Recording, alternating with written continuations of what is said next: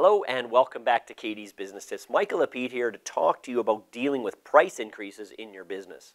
It's imperative with inflation that you regularly review your prices and increase them as needed. It should be done most likely on an annual basis, if not sooner, and not waited for multiple years and then you have to do a very large increase. You're better off to do regular, smaller increases in most instances. Now, Let's first talk about what causes price increases. Obviously, changing consumer needs is another one. So we had inflation, change in consumer needs, right? Major events across the globe, such as pandemic, result in all kinds of input and needs and more demands in certain areas and less in others and so forth. Supply, supply problems, maybe, you know, uh, with transportation, shipping, any customs, any problems with the, the supply chains coming in, that's major.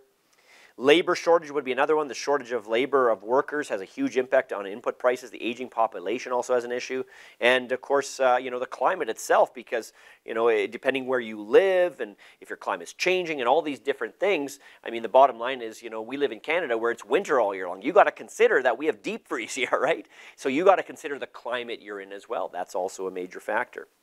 So, so we got to figure out all these factors about changing because we want to be when we when we increase our prices, we want to be within the market, and all these factors come into the market pricing. What's the fair market value of your product, so you can still be competitive or your of your product or service, right? Your pricing. So how do you deal with the input prices without passing on the bill to your clients? Well, that's the second thing. So we should increase our prices, but how do we minimize our damage so we don't have to increase the prices quite as drastically? Number one, automate processes. To address labor shortage, some businesses can start automating some of their processes, replacing employees with repetitive tasks, obviously using AI, right? Prioritize staff retention, invest in prioritize staff retention to counteract the effects of staff shortages, right? Look at cost of turnover of your business and see just how much investing in staff retention is the better way to go. It clearly is. It's better to invest in those you have than constantly re retraining new people all the time, clearly.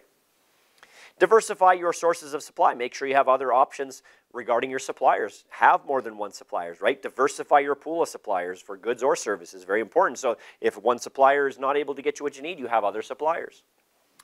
Another one is to do a business with local companies. Do business with local companies is important because when you're doing business with local companies, uh, there may be great alternative for you. Instead of purchasing raw materials from other countries, you can do everything local. You get it quicker. You're supporting your backyard and so forth.